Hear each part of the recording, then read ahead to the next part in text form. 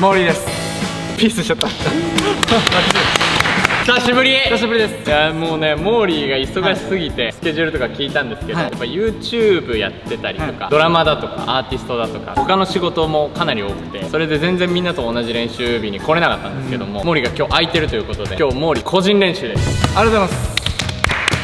今日でちょっとバッチリ追いつけたいと思います追いつけるのよ。追いつけますか？悲しい。俺結構悲しい悲しい心配。うん。いや結構来てないかったからさ LINE でもさ、はい行けるように頑張りますって言ってくれてたけど。あんま来てない。みんなも。あそもそもですね。うんそもそも。だからそこまで差はついてないと思うんだけどでもなぜ今回こうモーリーにね個人練習するかというと、第2回交流戦の日が決まってるんですよ。もうカメラなしで練習したりとうんかしてる人もいるんですけども、モーリーの時間を作ってもらって今日はここで練習して交流戦恥かかないようにありがたいです。そうやっぱりね。練習あれの量で交流戦ちょっと怖いよなめられるっていうか向こうのチームにも。うん、あモーリー穴だとか思われたら嫌だし。そうなんですよ。やっぱりこれを見てくれてる中にもモーリーのファンはめちゃくちゃいるんで、その人たちにかっこいいモーリーを見せるために今日は一回交流戦の前に一回練習しとこうという了解です。頑張りましょう。お願いします。やっぱりでも僕だけじゃ役不足ということで、はい。コーチ呼んでます。お願いします。お願いしますせーの。ヘルニア航空物語友良ですお願いしますお願いしますざいます。今の話聞いたら教えたくなくなってきました。あれ？なんでですか？一応人丹チームのコーチなんで。初めましてなんで。あそうですね初めまして。そうなんですよ、ジンタンチームを教えてくれてるんですけども、はい。ちょくちょく協力してくれてて、でもやっぱりバレエを盛り上げるというところは、はい。ジンタンチームも俺チームも一緒なので、そこでちょっと協力してほしいなと 思います。お願いします。はいお願いします。で、今日はもうガチの基礎練だとは思います。で、僕はちょっと試合に向けてサーブだとかスパイクだとか、個別練習になると思うんですけど、はいその辺よろしくお願いします。お願いします。お願いします。じゃあ一緒に最初あのレシーブの基礎からいきたいと思います。はい。あの面の作り方、あの前にちょっとやったと思うんですけどその面の作り方をやります。右足出してもらって手は振らないで足だけで僕にボールを返す。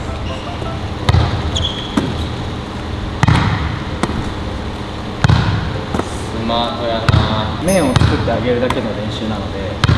手は振る必要はなくて足を見てもらったら分かると思うんですけど送り出す足を真似してもらって20回ぐらいやったらこの足を出す足を変えます。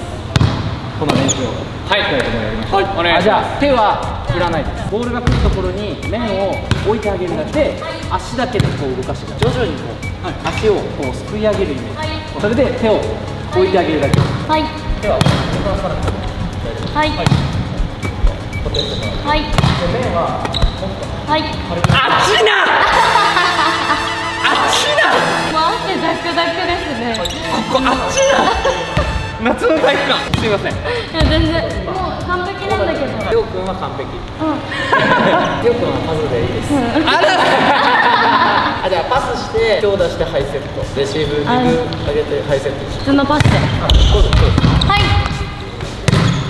はい。面を張りましょう。ごめんなさい。はい。ちょっと姿勢を落とします、で手と胸の空間を作んなきゃいけないのでできるだけ前の方で面を作ってあげる。イメージで顎はちょっと引いた感じで当たるところを見るイメージ了解です作ってなんかボールを作ってあげるイメージそうですよね。はい。オーバー久しぶりっすね。ハーブの練習とかしてたから。そうですよね。はい。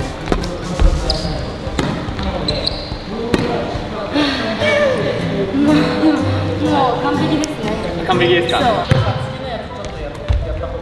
次はサイドにボールを投げるので出た方向に一歩出して取るでここで注意点なんですけど手と足が同時にいかないよう。にします先に足を出してから手をつけるイメージ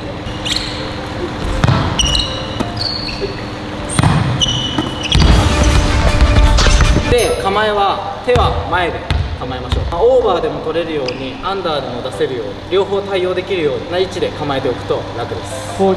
あ。はい。ラスト。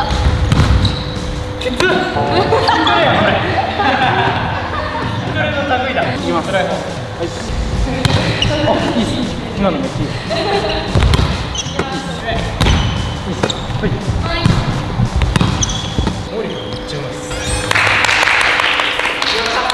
全然練習したら2番手ありますね。2番手？あのテオ君はちょっとずば抜けちゃってるんですよ今。センスもおっしゃると思あそれすごいな。ライブ衣装みたいなやつがあってめっちゃかっこやん。次行きましょうは。いはい、持ってこい。ナイス。行きます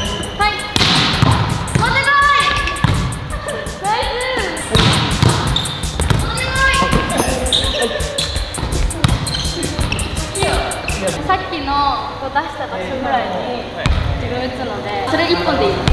1本で返して。きつかったら前にずっと行ってもい。いしそのまま横に抜けちゃってもいいはい。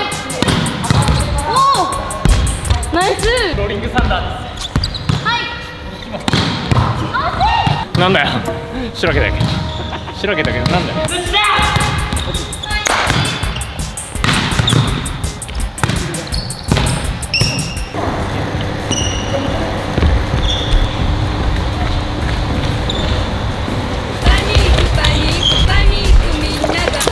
をすくい上げるというかフライングまではいかないんですけどちょっと飛び込んでレシーブを練習肘がちょっと当たるかもしれない怖っ。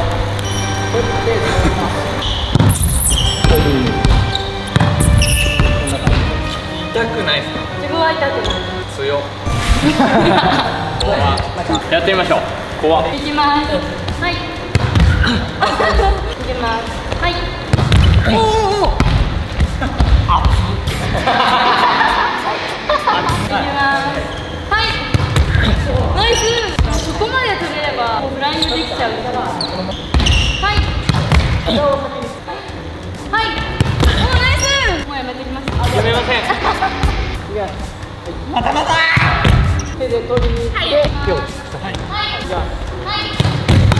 こ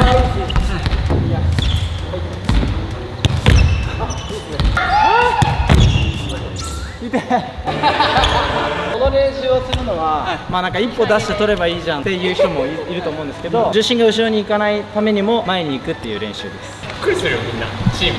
前に来たボール俺とモーリーがこうやってなんだ？ってなるよ上げてバウンドさせてそれをまた拾いに行く、足をボールの下にグッて入って持ち上げてあげる、はい真上にボール下下に入ってあそうっすそうっすその足の動きをちょっと覚えておいてでボール落ちてくるのもっと待ってもっと待ってあいいっすね次は直上パスちっちゃいの上げたら次大きいの、はい、でその次ちっちゃいの。大きいの。っていう順番でちっちゃいの。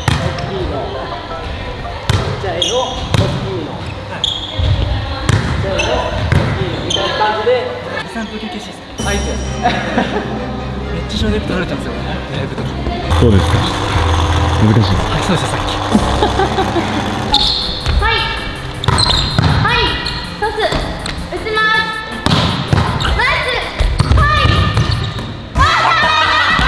何か分かんなくなって砲丸投げみたい。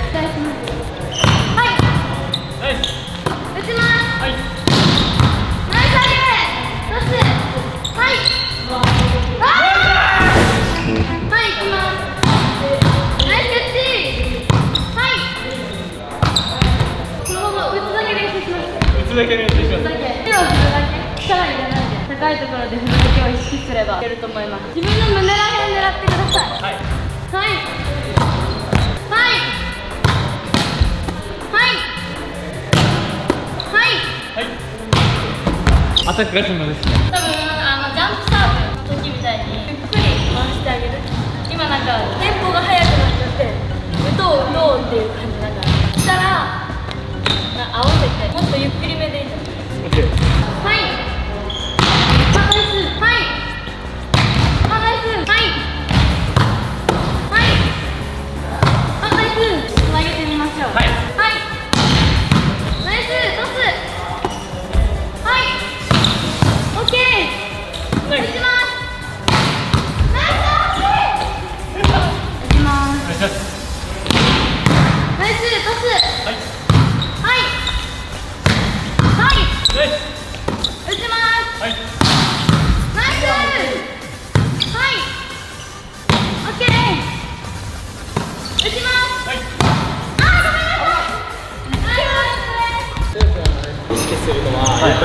左手が時々なくなっちゃうんでこういう対峙の時こそ左手を意識してずっとやってると自然にスパイク打つ時に左手が伸びてくるんでギリギリまで待って。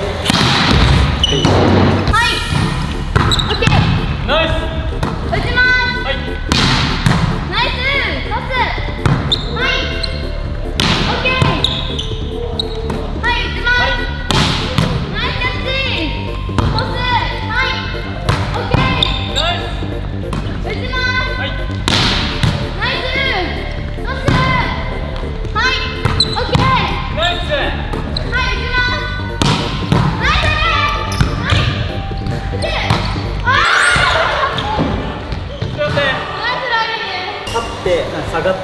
動作があると逆に疲れちゃうので常にこの低いところ膝だけで持ち上げてあげるイメージ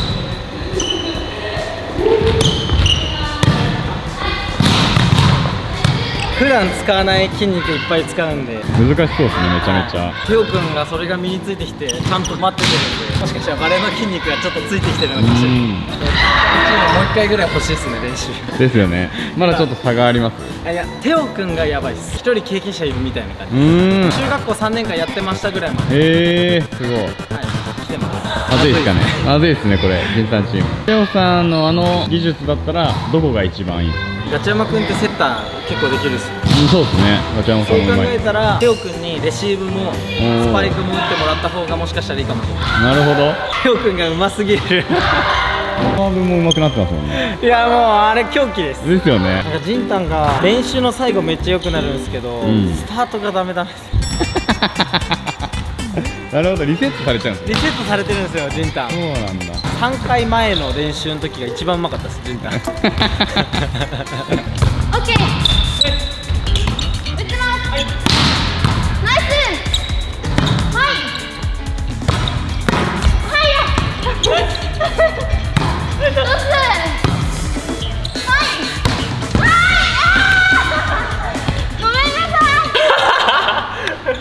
い。鶏肉ついてるよもうきつい。リグやりましょう。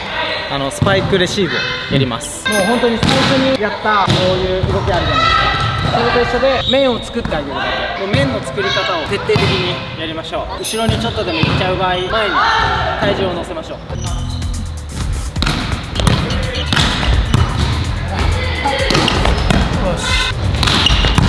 肘と膝サポしてるので手から行きましょう。足をまず出して手出して。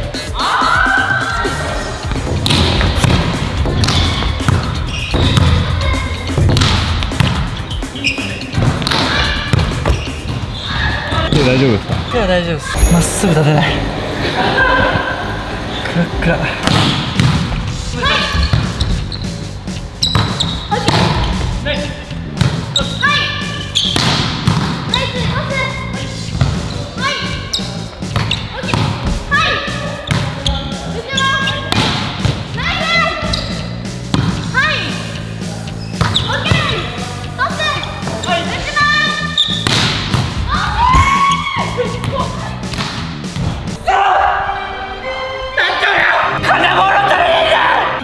からだ。これぐらいしかない。もう今日これぐらいしかない。あとは真面目だから。一回やって給水にしましょう。はい。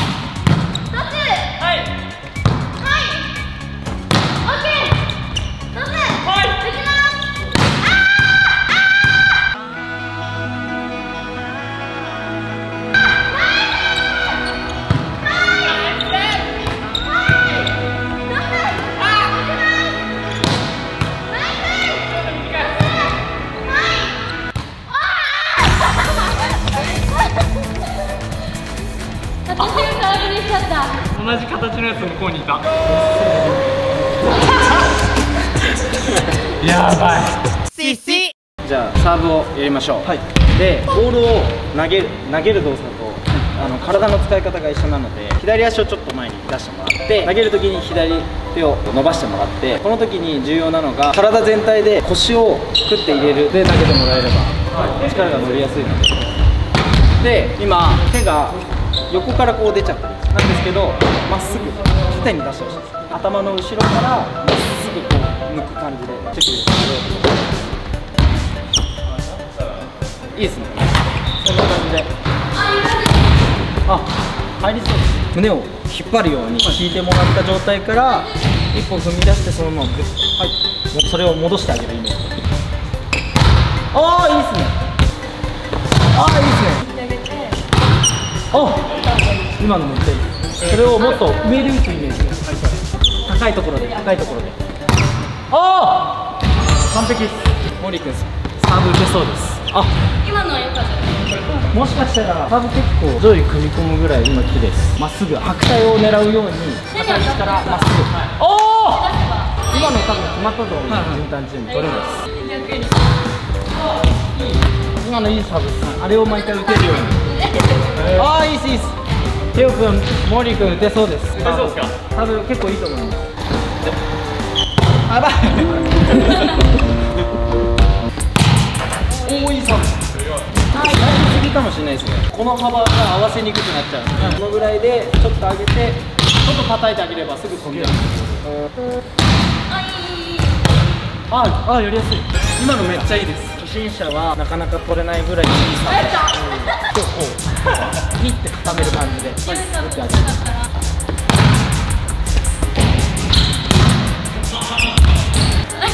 す。ね今のめちゃくちゃいいサーブジンタン個人練習しないとまずい。それで私それ思う。ジンタンジンタン明日練習しましょう。いやこれ取れる気がしないよな。多分なんか奥に来るボール苦手な気がするんですよね。みんな。心配だな。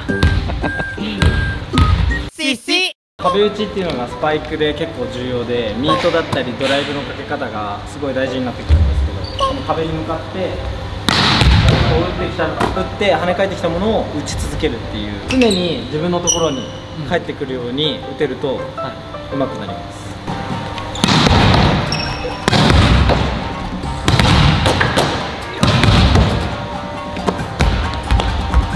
恥ずかしい。ごめんねオーバーパスを。はいこう持ってもらって。そのままこうボールを落としてくださいましょう。これを上でおでこの上でやってあげるだけです、じゃあまず直上からいきますか。そのさっきアンダーのやつを真上に10回いきましょう。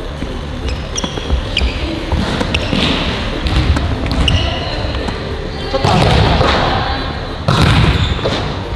おでこの上です。おでこの上。おでこの上で取る。で今ずれちゃったりしてるのって。自分の中心で取れてないんですよねなのでボールの落ちてくるところを常に自分の中心に移動してあげてください、このまっすぐ。あいいです。ヘディングで自分のとこまで届かせてください、わっと上げるイメージ。その時って膝を使ってるんです。よなのでその膝を覚えておいて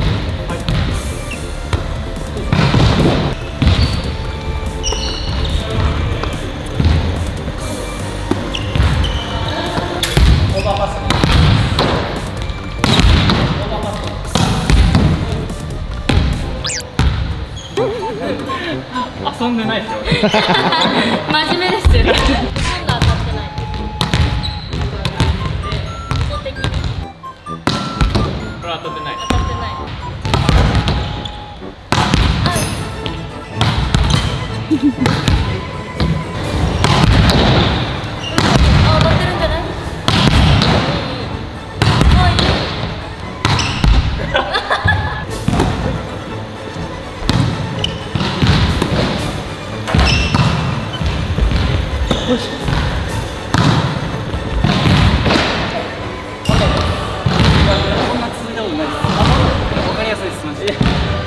め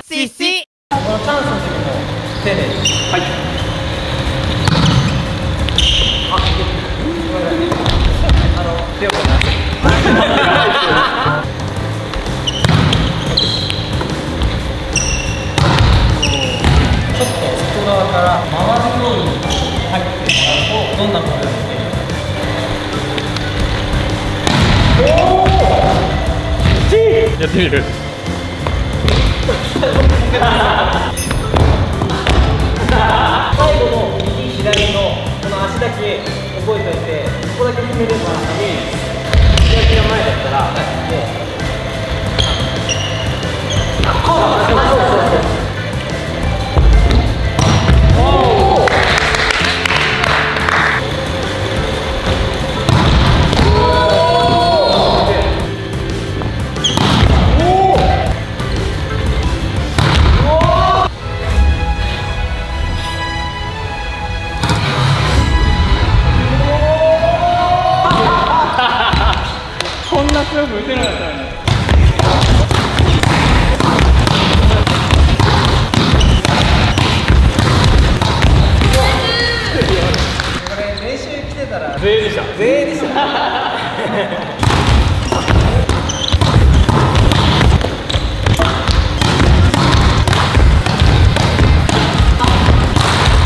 合わせ方なんですけど、最後の一歩で合わせるっていうイメージでこうちょっと近づいてって最後の一歩を大きくしてください。一気にこう飛んでくるそうすると合わせやすくなり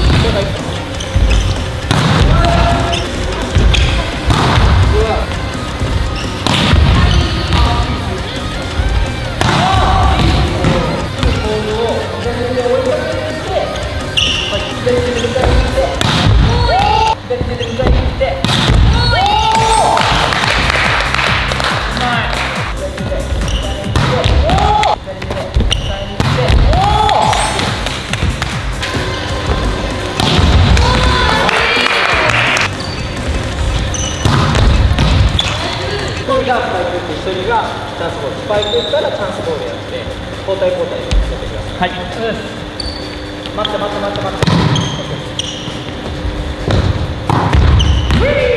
待ってください待って待って待って待って当てるだけやばいごめんなさい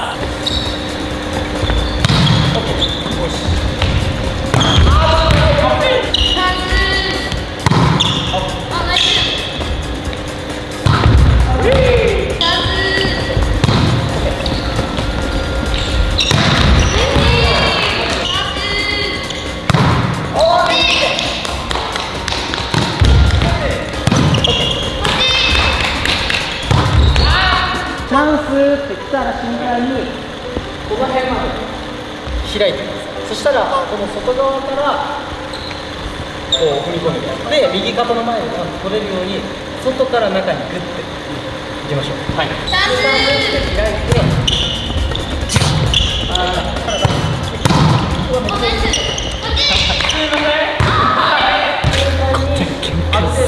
打ちたいんですけど、ここの痛さにビビって打てないです、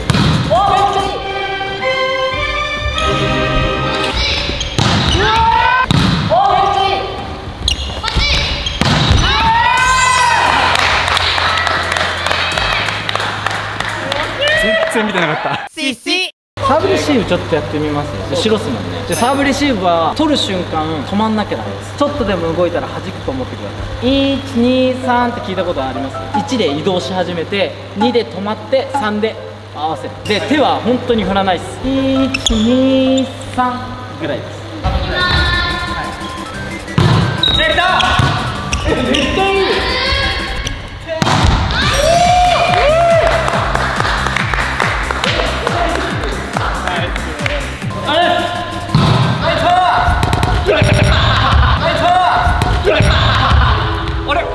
れ俺死んでない。生きてる。